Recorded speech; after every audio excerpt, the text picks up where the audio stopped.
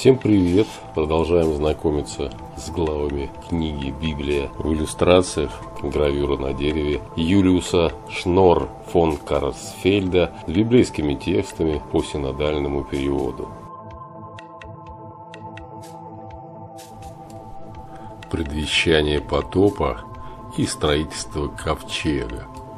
И сказал Господь Бог Ною, конец всякой плоти пришел пред лицо мое, ибо земля наполнилась от них злодеяниями, и вот я истреблю их с земли.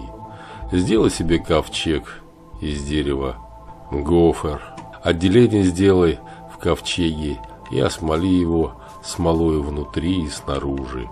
И сделай вот так, длина ковчега 300 локтей, ширина его 50 локтей, а высота его 30 локтей.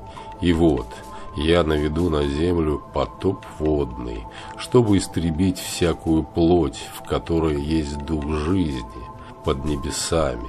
Все, что есть на земле, лишится жизни. Но с тобой я поставлю завет мой, и войдешь ковчег ты, и сыновья твои, и жена твоя, и жены сынов твоих, с тобою.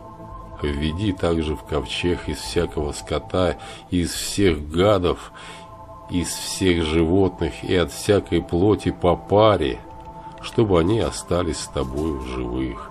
Мужеского пола и женского пусть они будут.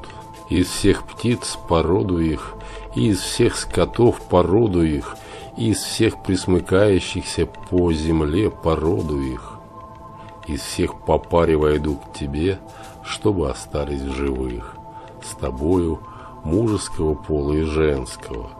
Ты же возьми себе всякой пищи, какую питаются, и собери к себе, и будет она для тебя и для них пищей. И сделал Ной все, как повелел ему Господь Бог, так он и сделал.